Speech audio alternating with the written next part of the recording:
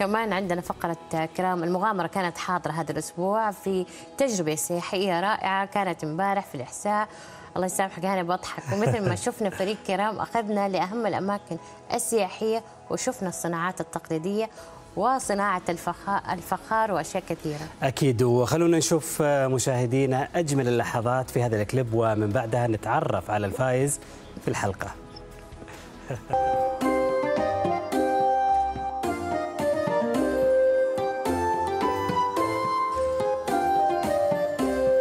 وهذا المكان اللي يميز فيه البيوت الأحسائية. هذا سمى الجص أو الجصة إني رجعت بالزمن لورا. هذه لها مسمى خاص عندنا. تعرفون إيش اسمها؟ صحون خد المنديل.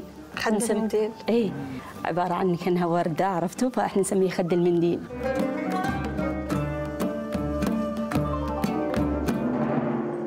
ناس تبغى تجي عندنا الإحساء التعرف على المشالح وطريقة الخياطة والحياكة اليدوية. هذه حلوة. هذه سبيكة أتوقع. وهذه بعد حلوة. هذه تجنن وهذه حلوة مرة. خلاص هذه اتفقنا؟ تم يلا. شيء معدوم يا انس أروح ألبس وكذا يصير. شورت لا لا لا لا. من البداية خربتيها. كبير مليان مكاين.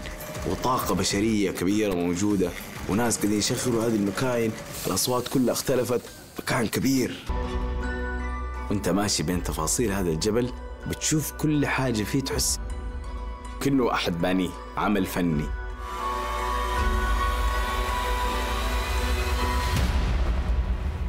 طلع في جنية اسمها جمانه فمن ذاك اليوم الاسم هذا عندي برا. إن ما خانتني الذاكرة.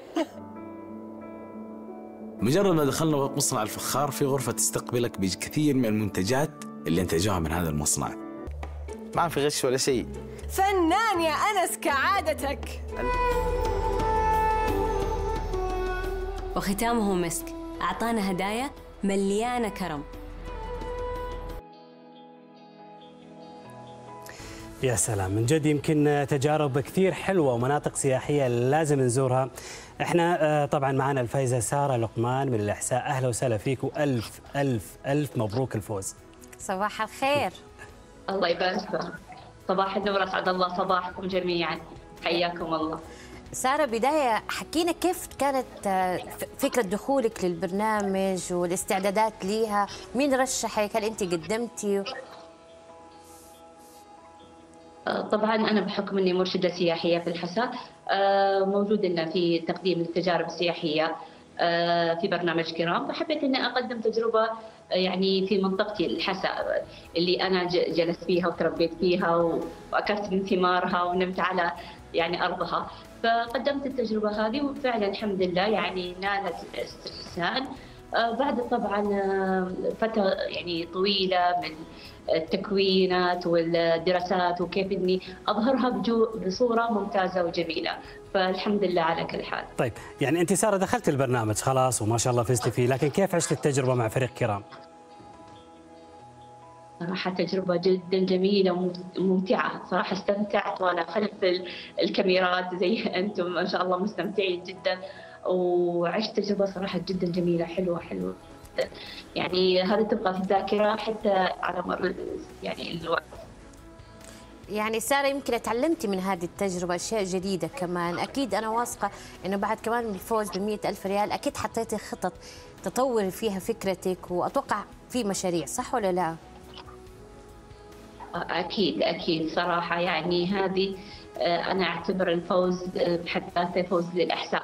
فأنا يعني بعد خوضي للتجربة تفتحت عندي أشياء ثانية بمعنى أن الزائر آه، وأعتبره أنا ضيف عندنا في الأحساء أنه يبغى يعيش ال- التجربة السياحية الموجودة عندنا في المنطقة. بمعنى أنه يجي يبغى يتعرف على الأشياء هذه يتعرف مثلا أنه يعيش في بيئة مثلا زراعية آه، بيئة مش يعني آه، صحراوية. طبعا إحنا عندنا اختلاف الت- التضاريس في الأحساء. عندنا طبعا البحر والبحيرة والجبل وعندنا هذا. فأنا أنا أبغى بالتجارب يعني كوني دخلت في برنامج آه، كرام جعلني أن السائح ليس فقط يجي بس أنه يتعرف على أشياء. لا يريد أن يخوض هذه التجربة، فأنا إن شاء الله يعني بحكم إني مرشدة يعني أواصل هذا التجارب إن الزائر يجي أدخله في أحدى هذه التجارب، يعني مختلفة التجارب سواء كان إنه يحب التراث اعيشه في أجواء التراثية يحب مثلا البحر أعيش في أجواء البحر في الصحراء جميع هذه التجارب.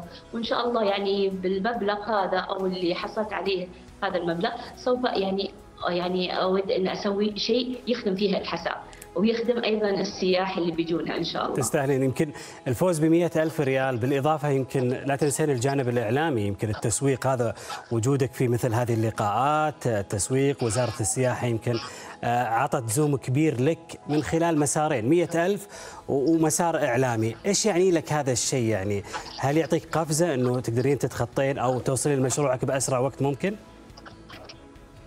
آه، إن شاء الله. وأنا أشكر من هذا المكان. أشكر صراحة آه، برنامج كرام والسياحة كيف إنها هيئت آه، لي يعني هذه التجربة إني أخوضها.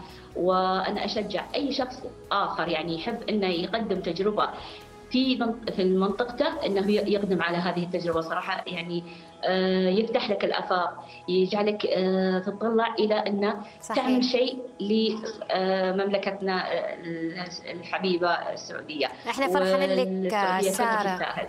إحنا مرة فرحانين لك ولفوزك وتحياتنا أكيد لك والأهل الاحساء كلهم اللي أنا موعودة إيه. أروح أروح لها من إيه. أيام زميلنا علي المشهر شكرا لك ولوجودك معنا هذا نفس البيت موضوع البيت ها؟ اي والله. اي والله نفس ما أخوه أخوه بالضبط. طيب